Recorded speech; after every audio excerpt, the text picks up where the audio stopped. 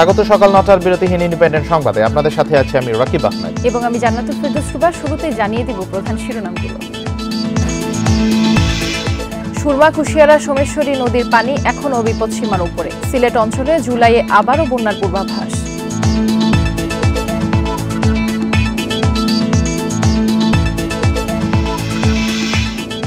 Russell's viper আতঙ্কে বিভিন্ন জেলায় মারা হচ্ছে নানা জাতের সাপ। বিভ্রান্তি না ছড়িয়ে সচেতন হওয়ার পরামর্শ।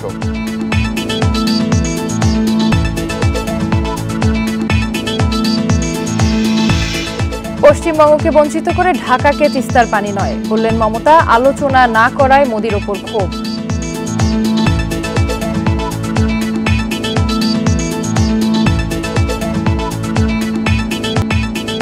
শুনছিলেন শিরোনাম এবার বিস্তারিত। শুরুতেই টি টোয়েন্টি বিশ্বকাপের খবর।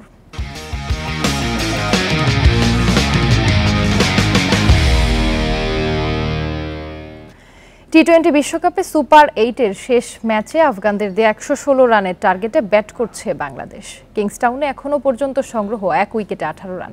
এই রান বারো ওভার এক বলে করতে পারলে সেমিতে যাবে বাংলাদেশ। টস জিতে রহমতুল্লাহ, গুরবাজ ও ইব্রাহিম জাদরানের ওপেনিং সতর্ক ব্যাটিংয়ে এগোয় আফগানদের স্কোর পাওয়ার প্লেতে করেছে একশো সাতাশ রান। দলীয় উনষাট রানে জাদরানকে ফেরান রিশাদ হোসেন। ওয়ান ডাউনে নামা আজমতুল্লাহ ওমরজাই করেন দশ রান, সর্বোচ্চ তেতাল্লিশ রান করেন ওপেনার গুরবাজ। শেষ দিকে অধিনায়ক রশিদ খানের অপরাজিত উনিশ রানে পাঁচ উইকেট, একশো পনেরো রানে টোটাল পায় আফগানরা ছাব্বিশ রানে তিন উইকেট শিকার রিশাদ হোসেনের। টাইগারদের বিপক্ষে ম্যাচ ফলাফলের উপর নির্ভর করছে অজি আর আফগানদের সেমিতে খেলার সমীকরণ মিলানো। আফগানিস্তান বাংলাদেশ ম্যাচ নিয়ে আলোচনা করতে স্টুডিওতে আমাদের সাথে আছেন ক্রীড়া সম্পাদক রাকিবুল হাসান। রাকিবুল হাসান, আপনাকে স্বাগত। একশো ষোলো রানের টার্গেটে ব্যাট করছে বাংলাদেশ। সেক্ষেত্রে শুরুটা কেমন দেখছেন?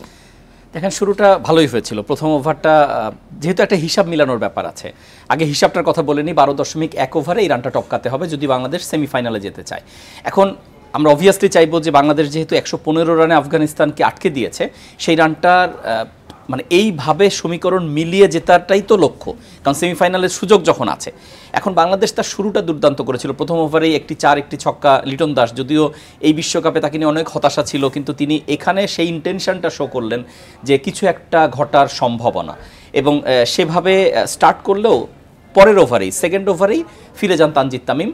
তার অফ ফর্মটা কন্টিনিউ আছে। শুরুতে ভালো করলেও দুটা শূন্যর পরে আজকেও তিনি রান করতে পারেননি সেরকম ভাবে ফারুকি উইকেট নিয়েছেন। ফলে এই এক উইকেটে এক আঠারো রান এখন পর্যন্ত যে স্ট্যাটাস এখন বিষয়টা হচ্ছে যে হিসাব শেষ পর্যন্ত মিলবে কিনা সেটা বলা মুশকিল। কারণ বারবারই আমরা বলছি যে উইকেটটা একটু টিপিক্যাল একটা উইকেট, যে উইকেটে রান করাটা খুব সোজা না। ফলে এখানে শেষ পর্যন্ত হিসাব মিলবে কিনা এটা বলা কঠিন। তবে স্কোরটা যেখানে আছে, তাতে বাংলাদেশের এই ম্যাচে জয় না পাওয়ার কারণ দেখছি না। যদি না বাংলাদেশ অনেক বেশি খারাপ খেলে ফেলে, আমরা কোনোভাবেই সেটা চাই না। সেমিফাইনালের হিসেবটা যদি মেলাতে চাই, রাকিবুল হাসান, যেহেতু একশো পনেরো রানের মধ্যে আফগানকে আটকে রাখা গেছে, সেক্ষেত্রে বাংলাদেশ এখন শেষ খবর পাওয়া পর্যন্ত দুই ওভার তিন বলে তেইশ রান। আপনি কি মনে করছেন আসলে এটা কি গেটেবল দেখেন আগে হিসাব মিলানোর কথা বলি, সেখানে প্রায় এগারো মানে দশের উপর রান লাগবে। বিষয়টা হচ্ছে এরকম অলমোস্ট দশ লাগবে। তো বাংলাদেশ এখন পর্যন্ত যে ব্যাট করেছে, সেই ডিমান্ডটা কিন্তু ফুলফিল করেই এগোচ্ছে। আপনি দুই ওভার তিন ওভার তেইশ রান হয়েছে। চ্যালেঞ্জটা হবে যেটা যে আমরা ভুলে গেলে চলবে না। রশিদ খান হচ্ছে চ্যাম্পিয়ন বোলার এবং তার চার ওভার নেগোশিয়েট তিনি করবেন। সেই জায়গাটায় এটা খুব কঠিন হবে এবং আমরা দেখেছি যে বাংলাদেশের রিশাদ কিন্তু এই উইকেটে একটা বাড়তি হেল্প পেয়েছেন এবং যে হেল্পের মাধ্যমে তিনি তিন উইকেট তো নিয়েছেনই চাপে রাখতে পেরেছেন। আমরা বিশ্লেষণগুলো আরও করব। আমরা একটু টিএসসি থেকে ঘুরে আসি। মোহাম্মদ নাজিম সেখানে আছেন। নাজিম, আপনি নিশ্চয়ই আমাকে শুনতে পাচ্ছেন। বাংলাদেশের হিসাবটা তো আমরা সবাই এখন জানি এবং সেইভাবেই বাংলাদেশ শুরু করেছে। কি অবস্থা টিএসসির?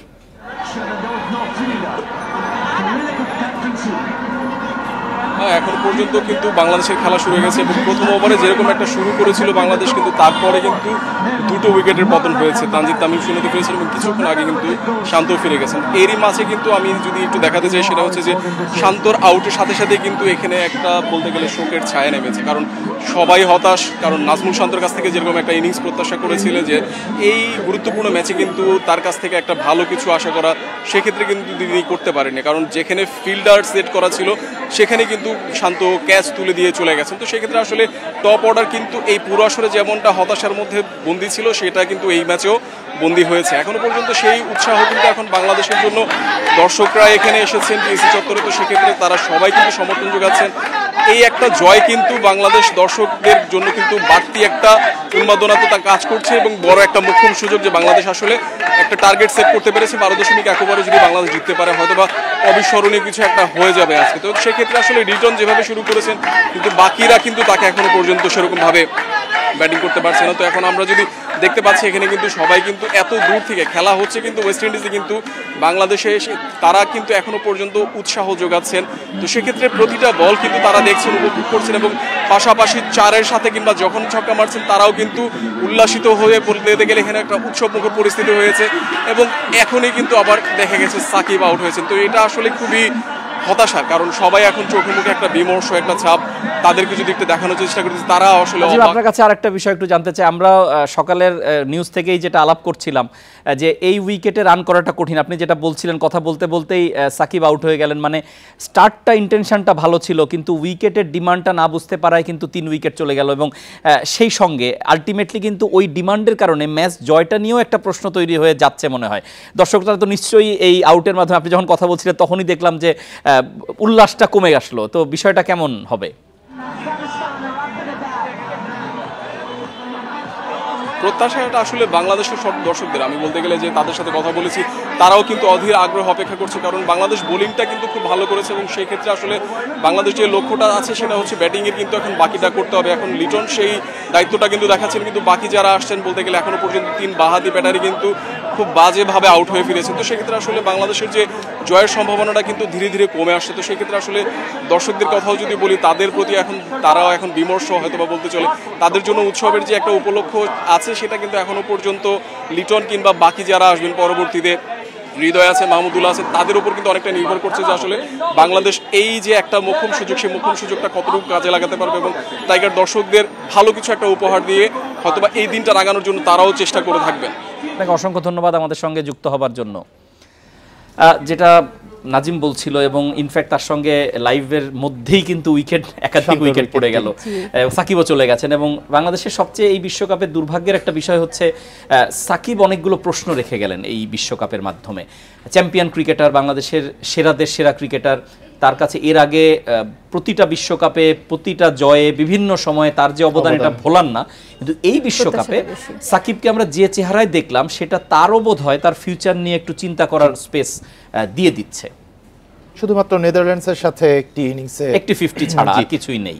তবে একটি বিষয় যে রিশাদ কিন্তু প্রতি ম্যাচেই ভালো করছেন বোলিং এ অ্যাটলিস্ট সবসময় ভালো করছেন। আজকের ম্যাচেও ছাব্বিশ রানে তিন উইকেট নিলেন।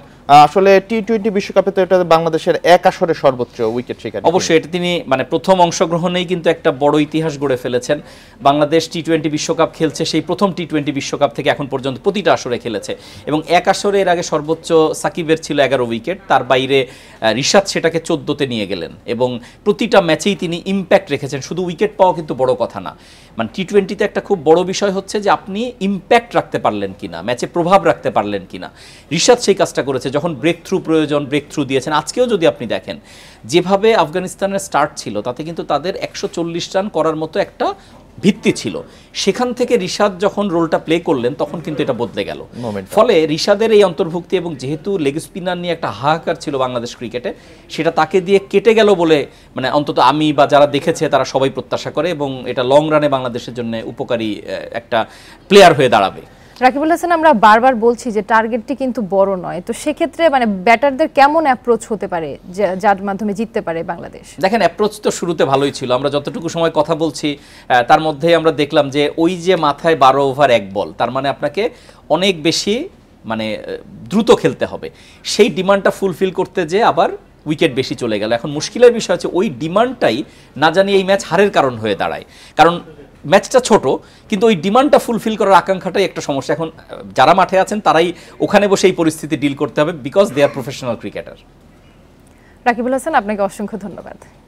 সুনামগঞ্জে বন্যার পানি নামতে শুরু করায় স্পষ্ট হতে শুরু করেছে রাস্তাঘাট ও ঘরবাড়ির ক্ষয়ক্ষতির চিহ্ন। পানি পুরোপুরি নেমে না যাওয়ায় ক্ষতির পরিমাণ নিরূপণ করতে পারেনি প্রশাসন। বসতভিটার ব্যাপক ক্ষয়ক্ষতি হওয়ায় ঘরে ফেরা নিয়ে অনিশ্চয়তায় বানভাসী লোকজন। চলতি মাসের মাঝামাঝি সময় থেকে উজানের ভারী বৃষ্টি ও পাহাড়ি ঢলে সুনামগঞ্জের নদ নদীর পানি বেড়ে বিপদসীমা অতিক্রম করে। ঈদ উল আজহার সকাল থেকে প্লাবিত হতে থাকে জেলা সদর সহ উপজেলার এক হাজার তিনশো দুইটি গ্রাম। বন্যার কারণে কাঁচা ঘরবাড়ির ব্যাপক ক্ষতি হয়। জেলার আট হাজার একুশটি পুকুরের মাছ ভেসে গেছে এবং অন্তত তিন হাজার কিলোমিটার সড়ক পানিতে তলিয়ে যায়। আড়াই থেকে দুই লক্ষ সত্তর হাজার টাকার মতো মাছ ছিল, খাদ্য লাগাই আর কি। মাছগুলো চলে যায় নেট টুট ভেঙে ফেলে দিই। আর আমার পাশে যে পুকুরটা ছিল ওখানে আমার রেনু সারা ছিল। বন্যার পানি কমে যাওয়ায় বানভাসী লোকজনের মধ্যে স্বস্তি ফিরলেও ঘরে ফিরতে পারছেন না অনেকে। বিধ্বস্ত ঘরবাড়িতে যেতে না পেরে এখনও পাঁচশো তিনটি আশ্রয় কেন্দ্রে অবস্থান করছে প্রায় তেরো হাজার মানুষ। গড়ে দরে ভাঙ্গিয়া টাইডিয়া করে বেড়া উড়া ভাঙ্গিয়া হালাই দিছে হানি। অনেক এই এনে কোয়াটারে যাই লইছে আমরা হিন্দা সবে ঘর হানি থাক। এই ফানি চারিবাদি জিনিসপত্র ব্যাংকে লাখি কুড়া সপ্তাহ বাসায় নিছি কি? আমরা বিরাট একটা অশান্তিতে আছি। বন্যার পানি পুরোপুরি কমলে ক্ষয়ক্ষতির পরিমাণ নিরূপণ করে মন্ত্রণালয়ে চিঠি দেওয়ার কথা জানিয়েছে জেলা প্রশাসন। অবকাঠামো ব্রিজ কালভার্ট সেতু এগুলো ক্ষয়ক্ষতি হয়েছে সেগুলো নিরূপণের জন্য উপজেলা নির্বাহী অফিসারগণ সহ সংশ্লিষ্ট দপ্তর কাজ করে যাচ্ছেন। ক্ষয়ক্ষতি নিরূপণ পর আমরা প্রতিবেদন ঊর্ধ্বতন কর্তৃপক্ষের নিকট প্রেরণ করব। প্রয়োজনীয় বরাদ্দ প্রাপ্তির সাপেক্ষে প্রকৃত ক্ষতিগ্রস্তদের মধ্যে এগুলো বিতরণ করা হবে। বন্যার পানি নামতে শুরু করলেও এখনও জেলায় প্রায় তিন লাখ মানুষ পানিবন্দী রয়েছে। Independent news. এই বন্যা বিষয়ে আরও জানাতে সুনামগঞ্জ থেকে যুক্ত হয়েছেন সহকর্মী জাকির হোসেন। জাকির, বন্যার পানি তো নামতে শুরু করেছে, এখন ক্ষতির চিহ্ন কতটা প্রকট দেখতে পাচ্ছেন? আর এই পানি নামার সময় আসলে পানিবাহিত রোগবালয়ের প্রাদুর্ভাব হয়, এটি নিয়ন্ত্রণে আসলে কি তৎপরতা দেখছেন? সব মিলিয়ে অবস্থা জানাবেন।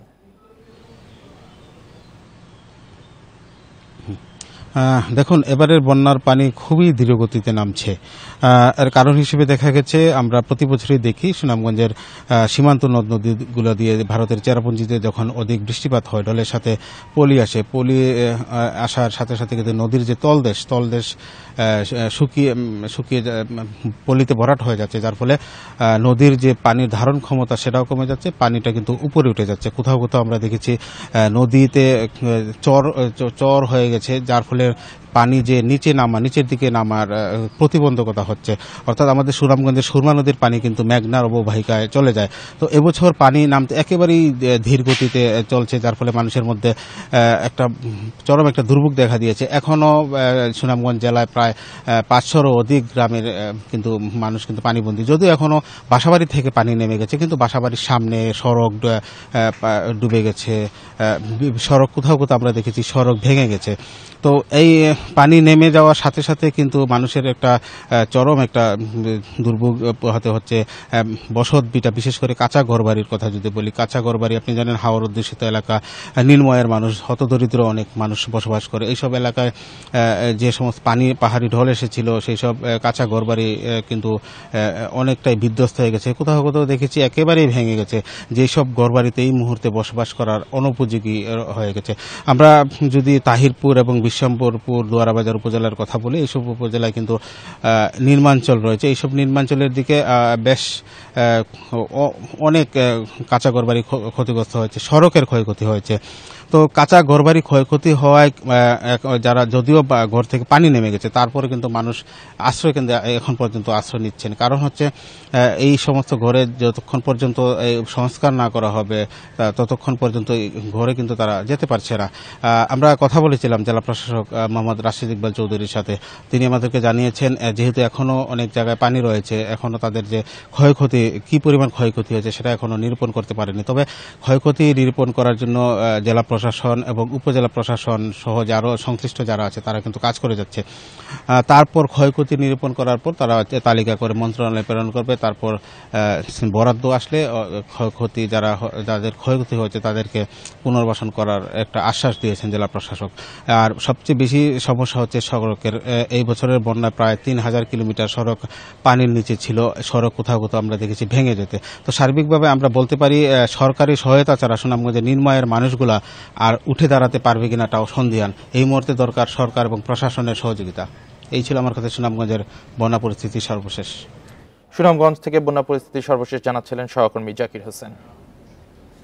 সিলেট অঞ্চলে বন্যার পানি পুরোপুরি নামতে সময় লাগতে পারে কয়েক মাস। এতে দুর্ভোগের পাশাপাশি চরম স্বাস্থ্য ঝুঁকিতে পড়েছেন নারী ও শিশুরা। ব্যাহত হচ্ছে শিক্ষা। বিশেষজ্ঞরা বলছেন বৈশ্বিক জলবায়ু পরিবর্তনের কারণে চেরাপুঞ্জি মেঘালয় ও আসামে বৃষ্টিপাত বেশি হচ্ছে।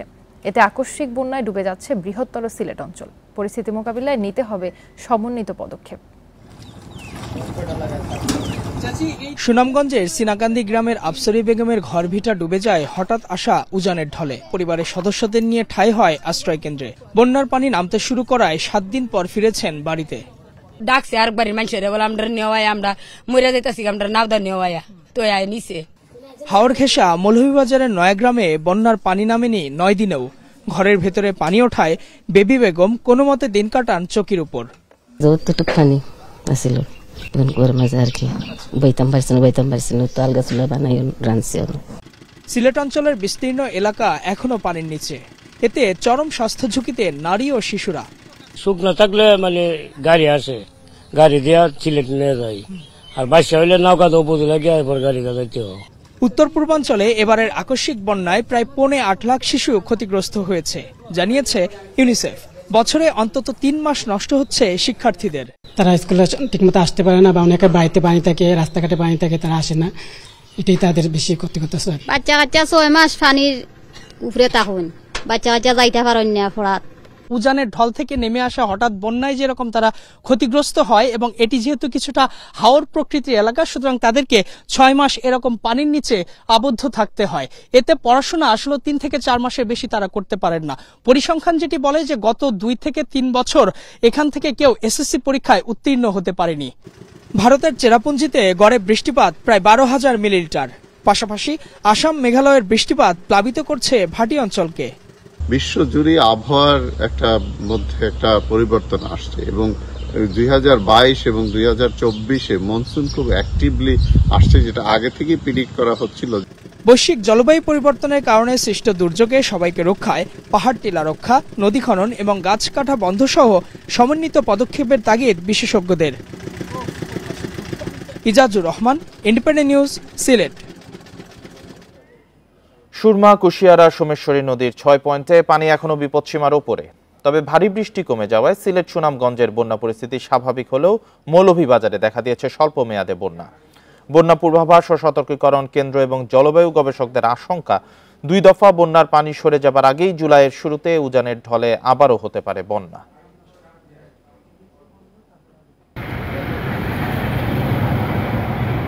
চেরাপুঞ্জি ও আসামে ভারী বৃষ্টির সঙ্গে উজানের ঢল। জুনে দুই দফা বন্যায় তলিয়ে যায় সিলেট, সুনামগঞ্জ। তবে কয়েকদিনের পরিস্থিতি স্বাভাবিক হলেও মৌলভীবাজারের অবস্থা নাজুক হচ্ছে। জুনে সিলেটে স্বাভাবিক বৃষ্টি হয় আটশো একচল্লিশ মিলিমিটার। সেখানে এবছর আঠারো দিনে বৃষ্টি ঝরেছে ষোলোশো মিলিমিটারেরও বেশি। সেই সাথে আসাম, মিজোরাম, মণিপুর রাজ্যের ভারী বৃষ্টির পানি বরাক নদী দিয়ে সুরমা ও কুশিয়ারায় উপচে পড়েছে। দু হাজার জুনে সিলেট অঞ্চলে বৃষ্টি হয়েছিল এক হাজার চারশো ছাপ্পান্ন মিলিমিটার। সম্প্রতি অস্বাভাবিক বৃষ্টি এই এলাকার বন্যার প্রকোপ বাড়িয়ে দিচ্ছে। সামগ্রিকভাবে সবগুলো নদীরই পানি সমতল হ্রাস পাচ্ছে। আশা করছি আমরা আমাদের যে সামগ্রিকভাবে যে পূর্বাভাস রয়েছে আগামী বাহাত্তর ঘন্টায় তো সেই বিভিন্ন তথ্য আবহাওয়া সমস্যা তথ্য অনুসারে তো পরবর্তী বাহাত্তর ঘণ্টার মধ্যে আমাদের এই বন্যার যে পরিস্থিতি রয়েছে সিলেট সুনামগঞ্জ পরিবার অঞ্চলে সেটা ক্রমান্বয়ে উন্নতির দিকেই যাবে। বন্যা ও জলবায়ু গবেষকেরা বলছেন এ মাসে দুই দফা বন্যার পানি সম্পূর্ণ নেমে যাবার আগেই জুলাইয়ের শুরুতে আবারও পাহাড়ি ঢলের শঙ্কা রয়েছে। জুলাইয়ের প্রথম সপ্তাহে আরেকটা বন্যা আসতে পারে এরকম। ওই এলাকায়। তো একটা জায়গায় যদি এরকম রিপিটেডলি বন্যা হয় দুইবার তিনবার তখন কিন্তু ক্ষয়ক্ষতির মাত্রাটা জ্যামিতিক হারে বাড়বে। হাওরে বন্যা থেকে বাঁচতে সাধারণত ডুবন্ত বাঁধ নির্মাণ করা হয় তবে অপরিকল্পিত আন্তঃসড়ক ও নাব্যতা সংকটে ঢলের পানি নামতে সময় নিচ্ছে। শক্ত বাঁধ মিডিয়াম বাঁধ আর একটু দুর্বল বাঁধ এটা পানির প্রবাহ অনুযায়ী। এক দুই নম্বর এই যে মনসুন ফ্লো হিউজ ফ্লো এটাকে এনশিওর করার জন্য ফ্লাড ফিউজ করা হয়েছে। এমনভাবে করা হচ্ছে যাতে পানি দ্রুত একটা সুনির্দিষ্ট দরজা দিয়ে যায় এবং গর্তটা যাতে নিয়ন্ত্রণের মধ্যে থাকে এবং ওই ধান কাটার পরে পরে পানির চাপ পড়লে ওইটা যাতে সহজে খুলে যায়। গবেষকেরা বলছেন, সিলেট বিভাগে হাওরের পানি নামতে কিশোরগঞ্জের মিঠামইন অষ্টগ্রামের সড়ক কোনো প্রভাব ফেলে না। সড়কটি উত্তর দক্ষিণে ভাটির দিকে হয় পানি প্রবাহে বাধা সৃষ্টি করছে না। Shahriar Anirban, independent news, Dhaka. Bharat সফরে বিস্তারিত নিয়ে আজ সংবাদ সম্মেলনে আসছেন প্রধানমন্ত্রী শেখ হাসিনা। সকাল এগারোটায় গণভবনে এই সংবাদ সম্মেলন অনুষ্ঠিত হবে। প্রধানমন্ত্রী শেখ হাসিনা ভারতের প্রধানমন্ত্রী নরেন্দ্র মোদীর আমন্ত্রণে একুশে জুন দুই দিনের রাষ্ট্রীয় সফরে ভারতের নয়াদিল্লি যান। লোকসভা নির্বাচনে বিজেপি নেতৃত্বাধীন জোট টানা তৃতীয়বারের মতো সরকার গঠনের পর ভারতে কোনো সরকার প্রধানের এটি প্রথম দ্বিপাক্ষিক সফর। প্রধানমন্ত্রীর দুদিনের সফরে ঢাকা ও নয়াদিল্লি দুই প্রতিবেশী দেশের মধ্যে ক্রমবর্ধমান সম্পর্ককে আরও সুসংহত করতে সাতটি নতুন এবং তিনটি নবায়ন সহ দশটি সমঝোতা স্মারক সই হয়। এই সফর ছিল পনেরো দিনেরও কম সময়ের মধ্যে ভারতের রাজধানীতে শেখ হাসিনার দ্বিতীয় সফর। তিনি নয় জুন মোদীর শপথ গ্রহণ অনুষ্ঠানে যোগ দেন।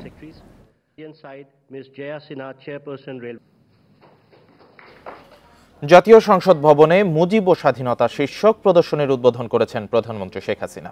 এতে দেশের রাজনীতির নানা পর্বের ইতিহাস তুলে ধরা হয়েছে। সোমবার বিকেলে সংসদ ভবনের নিচতলায় প্রদর্শনীর উদ্বোধন করা হয়। এ সময় প্রধানমন্ত্রীর সঙ্গে ছিলেন জাতীয় সংসদের স্পিকার ডক্টর শিরিন শারমিন চৌধুরী। প্রদর্শনীর বিভিন্ন চিত্র ও ঘটনা প্রবাহ সম্পর্কে প্রধানমন্ত্রীকে জানান স্পিকার। পরিদর্শন শেষে এ আয়োজনের প্রশংসা করেন প্রধানমন্ত্রী। জাতীয় সংসদে মুজিব ও স্বাধীনতা শীর্ষক এই সংগ্রহশালায় স্থাপন করায় স্পিকার সহ সংশ্লিষ্ট সবাইকে অভিনন্দন জানান তিনি।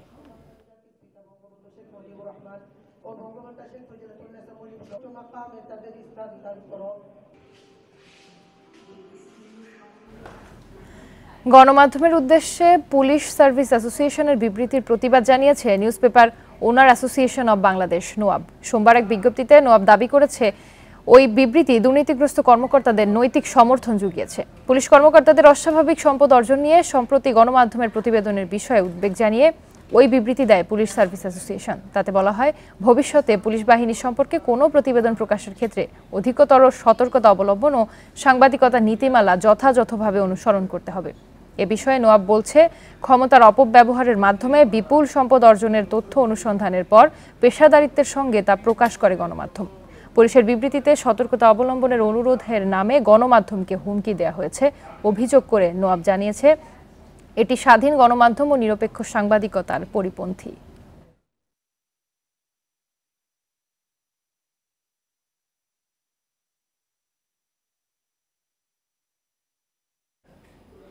ঢাকা মহানগর পুলিশের সাবেক কমিশনার আসাদুজ্জামান মিয়ার ব্যক্তিগত তথ্য সাংবাদিকদেরকে দেয়ার অভিযোগে গাজীপুর মহানগর সিটিএসবি ও প্রোটেকশন বিভাগের এডিসি জিসানুল হককে বরখাস্ত করা হয়েছে।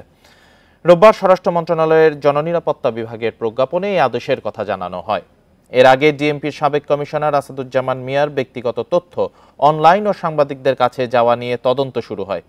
এ ঘটনায় জিসানুল হক, একজন এসআই এবং একজন এএসআইকে অভিযুক্ত করা হয়। পরে ওই অতিরিক্ত উপকমিশনার জিসানুল হককে বরখাস্ত করে রংপুর রেঞ্জে সংযুক্ত করার জন্য পুলিশ সদর দপ্তর থেকে স্বরাষ্ট্র মন্ত্রণালয়ে চিঠি দেওয়া হয়। ওই চিঠির পরিপ্রেক্ষিতেই তাকে বরখাস্ত করা হয়।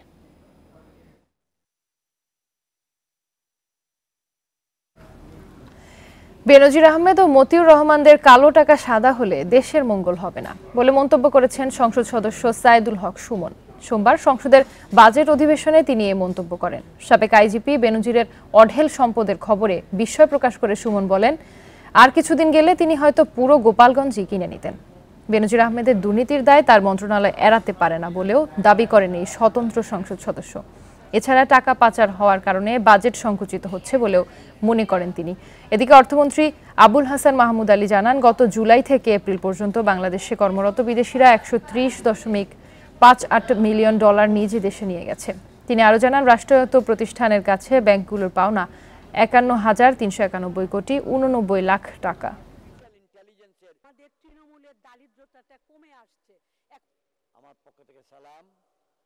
এই সরকারে রাসেল ভাইপার সাপ চলে আসছে মাননীয় স্পিকার। এই সাপ আসার কারণে সরকারে যখন সাপ আসে, প্রকৃতিতে বেজি থাকে। এই বেজি করে কি সাপরে নিয়ন্ত্রণ করে? কিন্তু এই সরকারে দেখা যাচ্ছে বিভিন্ন জায়গায় রাসেল ভাইপার আছে, কিন্তু বেজি ওই পরিমাণ নাই যে এই সাপরে ধরবে মাননীয় স্পিকার। ঢাকা, গাজীপুর, নরসিংদী সহ অন্তত ছয় জেলায় শত শত কোটি টাকার স্থাবর সম্পত্তির খোঁজ মিলেছে ছাগলকাণ্ডে সমালোচিত এনবিআর কর্মকর্তা মতিউর রহমান ও তার পরিবারের কোথাও বাংলো বাড়ি কোথাও রিসোর্ট, আবার কোথাও শিল্প কারখানা গড়ে তুলেছেন এনবিআর এর এই কর্মকর্তা। সম্পত্তির মালিকানা পেয়েছেন দুই বউ, সন্তান ও ভাইয়েরাও।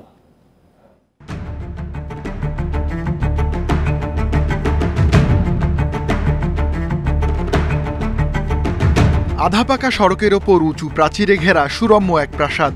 বিশাল রাজফটক পেরোলে নজর কাড়বে কারুকার্য শোভিত একটি ডুপ্লেক্স। ভবনের সামনে দেশি বিদেশি গাছে সাজানো বাগান, পেছনে পুকুর। আরেক পাশে আছে ছোট দুটি একতলা ভবন, অনেকের কল্পনার প্রাসাদ, রাজস্ব কর্মকর্তা মতিউরের স্ত্রী লাইলা কানিজের গ্রামের ঠিকানা। নরসিংদীর রায়পুরার মর্জালে বছর দুয়েক আগে নির্মাণ করা হয় এই প্রাসাদ। দ্বিতীয় স্ত্রী শাম্মী আখতারের গ্রামের ঠিকানাও কম সুন্দর নয়। চারদিক সবুজে ঘেরা, মাঝখানে একটি দৃষ্টিনন্দন ডুপ্লেক্স। ফেনীর সোনাগাজী উপজেলার সোনাপুরে এই বাড়িটি নির্মাণ করা হয় দশ বছর আগে। দ্বিতীয় স্ত্রীর নামে ঢাকায় রয়েছে আরও অন্তত দুটি ফ্ল্যাট। সবচেয়ে বড় কথা হলো উনি আমার ভগ্নিপতি ওরা আমার শিবু আমার ছোট বোন এই হলো আমার ভাগিনা সেটাই হলো আমাদের বড় পরিচয়। স্থাবর সম্পদের ভাগ প্রথম স্ত্রী বেশি পেয়েছেন বলে জানা গেছে। রাজধানীর বসুন্ধরা আবাসিক এলাকার ডি ব্লকে লতায় মোড়ানো সাততলা এই ভবন লাকির নামেই। ভবনের সপ্তম তলা বিশেষভাবে সাজানো। এখানেই বাস করেন মতিউর ও লাকি। এর দুই ভবন পরে সাড়ে তেরো কাঠা জমিতে নির্মাণ করা হচ্ছে। পনেরো তলা বিলাসবহুল ভবন। সুইমিং পুল ব্যায়ামাগার সহ আধুনিক নানা সুবিধায় ভরপুর হবে এই আধুনিক পরিবেশ বান্ধব ভবনটি। স্থানীয়রা জানান, এই জমির মালিক মতিউরের পরিবার। চার জেলা জুড়ে মতিউর পরিবারের বাণিজ্যিক ও শিল্প স্থাপনার প্রমাণ মিলেছে। নরসিংদীর মর্জালে প্রায় শত বিঘা জমির ওপর পার্ক কাম রিসোর্ট গড়ে তুলেছেন মতিউরের স্ত্রী। বিশাল লেক শিশুদের রাইড বাংলো বাগান কি নেই সেখানে এই পার্কের মালিক আমি তো জানি ডক্টর মতিউর রহমান। ওর আমার এক লাখ দুই লাখ করে চার লাখ টাকা দিছে। এরপরে আর কোনো টাকা হতো না আর জমিও দল করে না। গাজীপুরের টঙ্গীর এই বিশাল কারখানার নাম এসকে ট্রিমস প্যাকেজিং সামগ্রীর প্রায় চল্লিশ হাজার স্কোয়ার ফিটের এই কারখানার মালিকানায় রয়েছেন মতিউর রহমানের ভাই। কাজ করেন দেড় হাজারের বেশি কর্মী। ময়মনসিংহের ভালুকায় প্রায় তিনশো বিঘা জমিতে এই কারখানার নাম গ্লোবাল শুজ। এই কোম্পানির চেয়ারম্যান মতিউর রহমান নিজেই মানিকগঞ্জের অনেক ট্রিমস কারখানায়ও রয়েছে মতিউর তার পরিবারের মালিকানা। Ruhul Amin, independent news, Dhaka. দেশের পঞ্চাশ লাখ মানুষ অনলাইন জুয়ায় জড়িত বলে জানিয়েছেন ডাক, টেলিযোগাযোগ ও তথ্য প্রযুক্তি প্রতিমন্ত্রী জুনাইদ আহমেদ পলক। জানান, জুয়ার দুই হাজার ছয়শো সাইটের তালিকা প্রকাশ করে ব্যবস্থা নেওয়া শুরু হয়েছে। সোমবার সচিবালয়ে ফ্রান্সের রাষ্ট্রদূত ম্যারি মাসদুপুয়ের সাথে বৈঠক শেষে সাংবাদিকদের কথা বলেন তিনি। জুনাইদ আহমেদ বলেন, অবৈধ জুয়ার সাইটগুলোকে ব্লক করার চেষ্টা করা হচ্ছে, পাশাপাশি সচেতনতা বাড়ানো হবে যাতে সাধারণ মানুষ এ ধরনের কোনো প্রলোভনে পড়ে প্রতারিত না হন। দেশের মুদ্রা যাতে বিদেশে পাচার না হয় সে ব্যাপারে সতর্ক থাকার আহ্বান জানান প্রতিমন্ত্রী। মারাত্মক ঝুঁকির মধ্যে আমাদের বিভিন্ন বয়সের ছেলেমেয়েরা পড়ছে। এমনকি অনেক বয়স্ক রিটায়ার্ড পার্সনও এর মধ্যে আসছে। সো আমাদের যেই তথ্য উপাত্ত বিশ্লেষণ করে আমরা দেখছি যে প্রায় পঞ্চাশ লক্ষ মানুষ কীভাবে যেন এই একটা অবৈধ জুয়ার সাইটগুলোর সাথে জড়িয়ে গেছে। তো আমরা এটা চেষ্টা করছি প্রথমত অবৈধ জুয়ার সাইটগুলোকে ব্লক করা অবৈধ জুয়ার যে বেটিং সাইটগুলোর অ্যাপ্লিকেশন আছে এগুলোকে ব্লক করা দেশের শীর্ষ করদাতা ও প্রবীণ ব্যবসায়ী হাকিমপুরি জর্দার মালিক মোহাম্মদ কাউস মিয়া মারা গেছেন। তিনি সোমবার দিবাগত রাত বারোটা চল্লিশ মিনিটে রাজধানীর আজগর আলী হাসপাতালে মারা যান। মৃত্যুকালে তার বয়স হয়েছিল চুরানব্বই বছর। স্বজনরা জানান, দীর্ঘদিন থেকে কাউস মিয়া বার্ধক্যজনিত রোগে ভুগছিলেন। আজ মঙ্গলবার বাদ জোহর আরমিন আরমানিটোলা মাঠে তার জানাজার নামাজ অনুষ্ঠিত হবে। পরে তাকে আজিমপুর কবরস্থানে দাফন করা হবে। তার ছেলে জানান, শনিবার বিকেলে শারীরিক অবস্থার অবনতি হলে তাকে আজগর আলী হাসপাতালে নেওয়া হয়। দুই দিন চিকিৎসাধীন থাকার পর সোমবার রাতে মারা যান তিনি। হাকিমপুরি জর্দার মালিক, দেশ সেরা শীর্ষ করদাতা হিসেবে মোহাম্মদ কাউস মিয়ার সুনাম ছিল দেশ জুড়ে।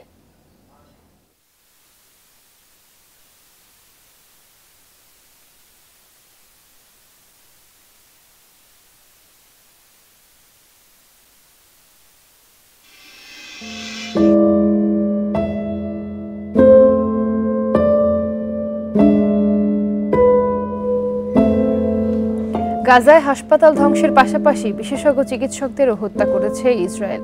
এতে মুখ থুবড়ে পড়েছে উপত্যকার স্বাস্থ্য খাত গাজার স্বাস্থ্য মন্ত্রণালয়ের তথ্য বলছে, আট মাসে ইসরায়েলি হামলায় পাঁচ শতাধিক স্বাস্থ্যকর্মী প্রাণ হারিয়েছেন। বিশেষজ্ঞ চিকিৎসক নিহত হয়েছেন পঞ্চান্ন জন। গাজার স্বাস্থ্য খাত ধ্বংস করতেই এমন ইসরায়েলি বর্বরতা দাবি হামাসের। এ বিষয়ে কোনো মন্তব্য করেনি ইসরায়েলি কর্তৃপক্ষ।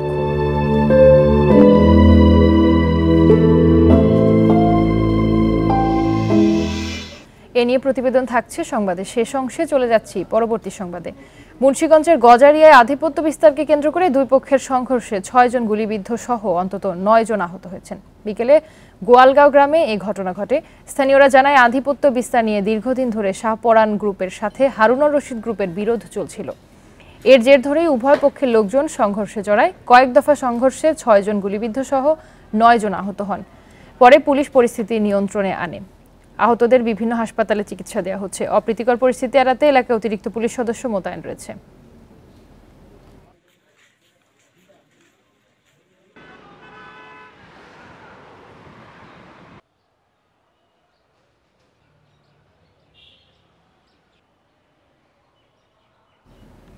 এ নিয়ে আরও জানাতে মুন্সিগঞ্জ থেকে যুক্ত হচ্ছেন সহকর্মী জিতু রায়। জিতু, বর্তমানে এলাকার পরিস্থিতি কেমন? আর আহতদের কি অবস্থা? সংঘর্ষের ঘটনায় কি কোনো মামলা হয়েছে?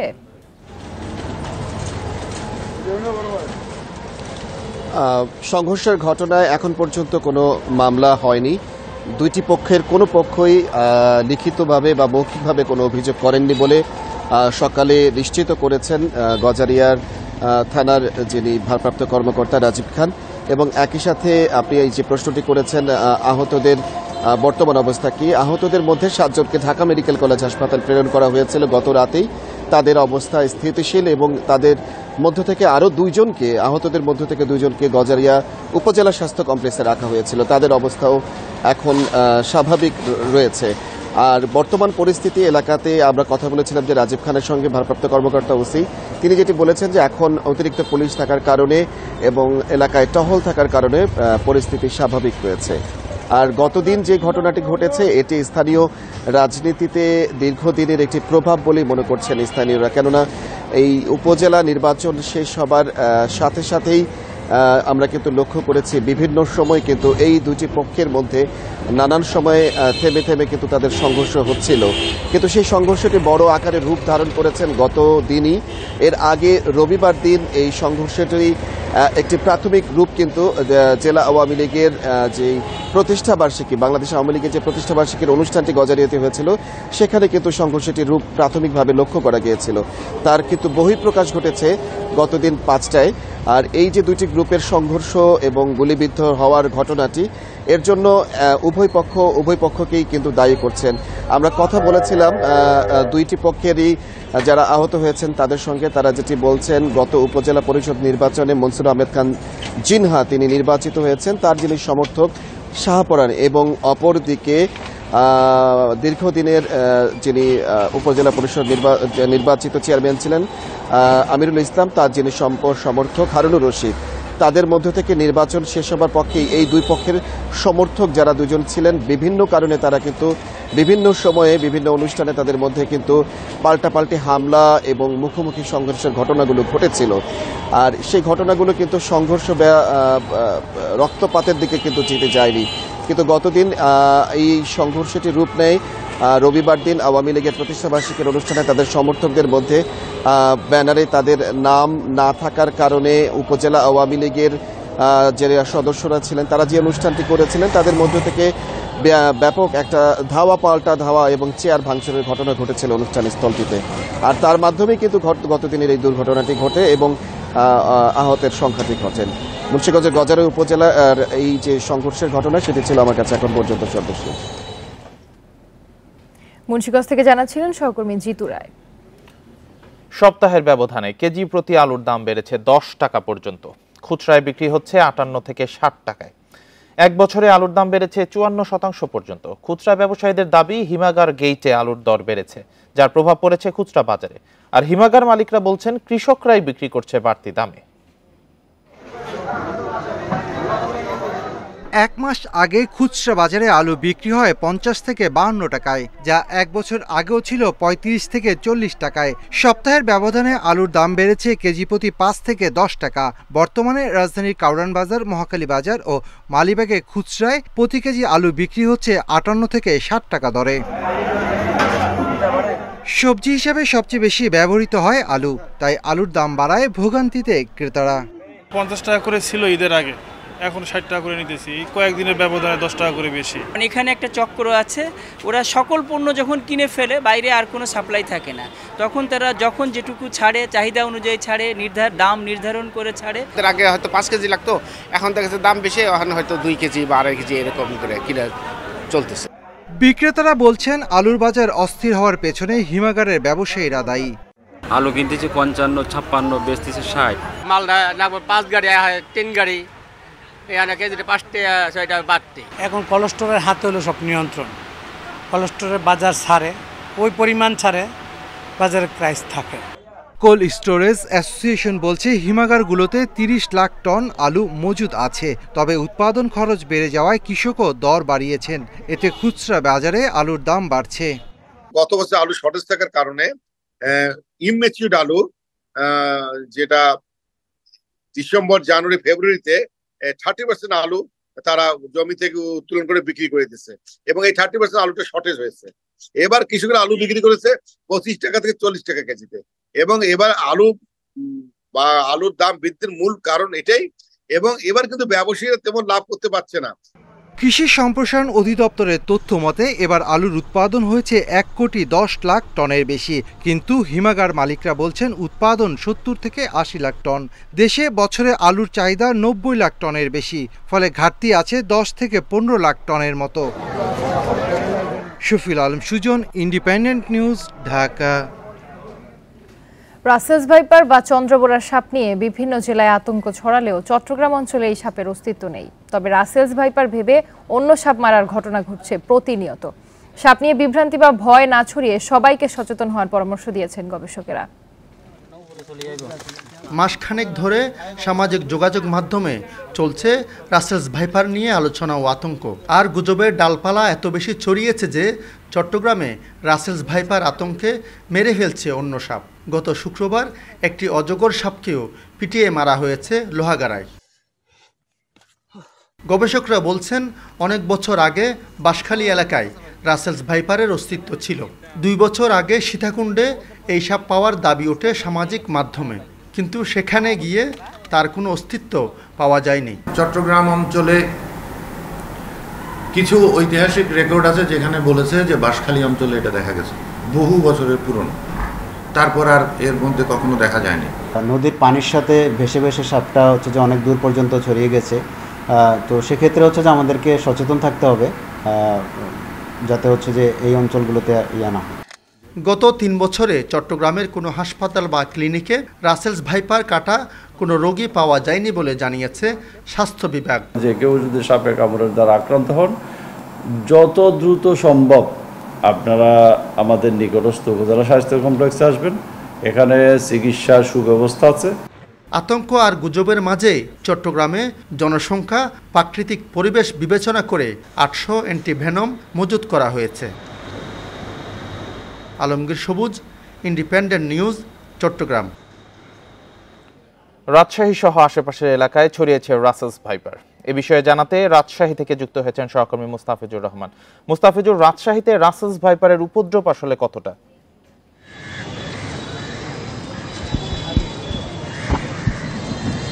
দেখুন রাসেলস ভাইপার বা একে চন্দ্রবোরা যে যেটি বলা হয়ে থাকে, এই সাপটির আধিক্য ষাট থেকে সত্তর দশকে উত্তর অঞ্চলে এর অস্তিত্ব ছিল। এরপরে আশির দশক থেকে দু হাজার দশ সাল পর্যন্ত এটিকে এর কোনো অস্তিত্বই ছিল না। অর্থাৎ এখানে যারা বিশেষজ্ঞরা ছিলেন, যারা অ্যান্টিভেনাম নিয়ে কাজ করেন, তারা বলছিলেন যে এটি এটি বিলুপ্ত প্রায় জাত হিসেবে এটি কিন্তু পরিগণিত হয়েছিল। এরপরে দু হাজার তেরো সালের পর থেকে এর আধিক্য বা এর উপস্থিতি কিন্তু জানান দেওয়া শুরু হয় এবং এখন পর্যন্ত যেটি বলা হচ্ছে যে এই রাসেলস ভাইপার বা চন্দ্রবোরা, এটি কিন্তু পৃথিবীর যে বিষাক্ত যে বিষধর যে সাপগুলো রয়েছে, তার মধ্যে পঞ্চম স্থানে অবস্থান করছে।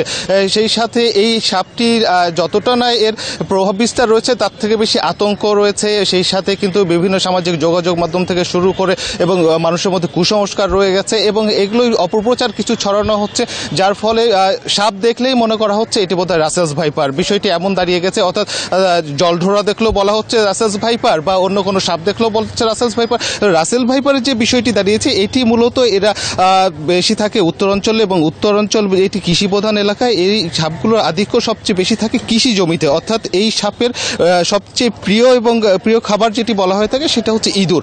ইঁদুর ধরার জন্য এই সাপগুলো মূলত এই জাতীয় স্থানে থাকে এবং সেই সাথে অনেক সময় ইঁদুরের সন্ধানেই কিন্তু তারা বাসা বাড়িতে প্রবেশ করে ফেলে।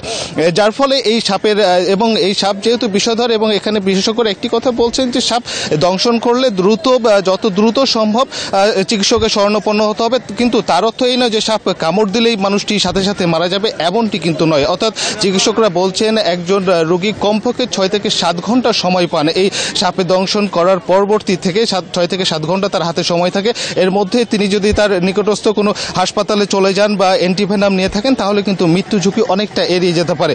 বারবার কিন্তু এখানে যারা বিশেষজ্ঞরা রয়েছেন, বিশ্লেষকরা রয়েছেন, আসলে এখানে আতঙ্কিত হওয়ার কিছু নেই, তবে সচেতন হতে হবে। সচেতন হতে হবে কেননা এই সাপের বংশ বিস্তার মে থেকে জুলাই পর্যন্ত এর প্রজনন মৌসুম এবং এই সাপটি বাচ্চা দিয়ে থাকে। ছয় থেকে সর্বোচ্চ পর্যন্ত নব্বইটি পর্যন্ত বাচ্চা দেওয়ার একটি রেকর্ড রয়েছে। অর্থাৎ এই ক্ষেত্রে সচেতনতা হওয়ার, সচেতন ছাড়া এর বিকল্প কিছু নেই। সেই সাথে রাজশাহী মেডিকেল কলেজ কর্তৃপক্ষ বলছেন যে এরই মধ্যে তাদের হাতে দুই হাজারের মতো অ্যান্টিভেনাম কিন্তু তাদের হাতে রয়েছে। অর্থাৎ আতঙ্কিত, রাসেলস ভাইপার নিয়ে আতঙ্কিত হওয়ার কিছু নেই, এমনটি কিন্তু বলছেন এখানকার যারা গবেষক, চিকিৎসক তারা কিন্তু বলছেন এটি। জি রাজশাহী থেকে রাসেলস ভাইপারের আতঙ্ক নিয়ে জানাচ্ছিলেন সহকর্মী মুস্তাফিজুর রহমান। শেষের পথে দেশের দীর্ঘতম বঙ্গবন্ধু শেখ মুজিব রেল সেতুর নির্মাণ কাজ। চার দশমিক আট কিলোমিটার সেতুটির পঞ্চাশটি পিয়ার আর উনপঞ্চাশটি স্পেনের সবগুলো বসানো শেষ। এখন চলছে নদীর দুপারে সংযোগ রেলপথ নির্মাণ। নির্ধারিত সময়ের মধ্যে এই মেগা প্রকল্পের নির্মাণ কাজ শেষ হবে বলে জানিয়েছেন প্রকল্প পরিচালক।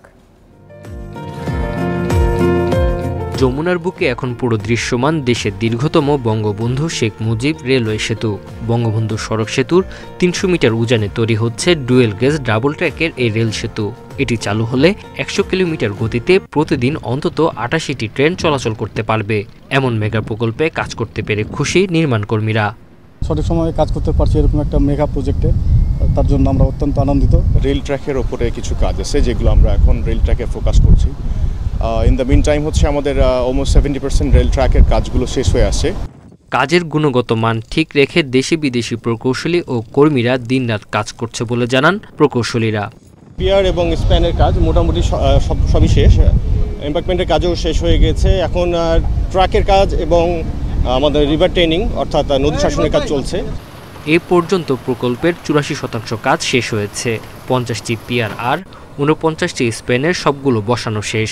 এখন চলছে সংযোগ রেলপথ নির্মাণ। প্রকল্প পরিচালকের আশা, টাঙ্গাইল অংশে আগামী আগস্ট আর সিরাজগঞ্জ অংশে ডিসেম্বরের মধ্যে কাজ শেষ হবে। পিআর টোয়েন্টি ফোর পর্যন্ত ট্র্যাকের ইনস্টলেশন কমপ্লিট করেছি, বাকি ট্র্যাকের ইনস্টলেশন গ্রাজুয়ালি হবে। এবং আসলে ডাব্লিউডি ওয়ান প্যাকেজের কাজটা আমরা অগাস্ট নির্ধারিত সময়ে শেষ হয়ে যাচ্ছে। আর ডাব্লিউডি টু প্যাকেজের যে মাইনর ওয়ার্কগুলো যেটা সেটা সম্পাদন শেষে আমরা ডিসেম্বরের শেষ নাগাদ এই কাজটা আসলে পুরোপুরি কমপ্লিট করতে পারব। চার দশমিক আট কিলোমিটার দীর্ঘ এই সেতু নির্মাণে ব্যয় ধরা হয়েছে প্রায় ষোলো হাজার সাতশো একাশি কোটি টাকা। ইন্ডিপেন্ডেন্ট নিউজ আন্তর্জাতিক মুদ্রা তহবিল আইএমএফ এর ঋণের তৃতীয় কিস্তির এক দশমিক এক দুই বিলিয়ন ডলার অনুমোদন পেয়েছে বাংলাদেশ। দুই দিনের মধ্যে এই অর্থ ছাড় দেওয়া হবে। সোমবার রাতে তথ্য নিশ্চিত করেছে বাংলাদেশ ব্যাংক। এর আগে যুক্তরাষ্ট্রের ওয়াশিংটনে সংস্থাটির নির্বাহী পরিষদের বৈঠকে ঋণ অনুমোদনের জন্য উপস্থাপন করা হয়। এ বিষয়ে আইএমএফ থেকে জানানো হয়, এই ঋণের বিপরীতে সংস্থাটির দেয়া বেশিরভাগ শর্তই পূরণ করতে সক্ষম বাংলাদেশ। এর আগে কিস্তির অর্থ ছাড়ের শর্ত বাস্তবায়ন এবং অর্থনৈতিক সংস্কারের অগ্রগতি দেখতে চব্বিশে এপ্রিল সংস্থাটির একটি মিশন ঢাকায় আসে। তারা সরকারের বিভিন্ন সংস্থার সঙ্গে বৈঠক করে। বৈদেশিক মুদ্রার রিজার্ভ কমায়। গত বছরের ত্রিশ জানুয়ারি আইএমএফ এর সঙ্গে চারশো সত্তর কোটি ডলারের ঋণ চুক্তি করে বাংলাদেশ।